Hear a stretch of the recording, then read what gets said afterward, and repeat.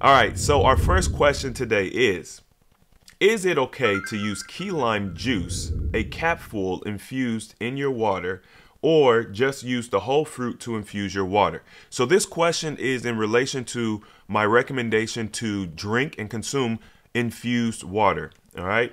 And uh, I highly recommend that if you guys are going to create infused water for yourself, you do not want to extract juice directly from something, whether you're juicing it or getting a cap from the, you know, that key lime juice can sometimes come in a container. What you want to do is get yourself a key lime, lime, lemon, cucumber, whatever fruit you want to use.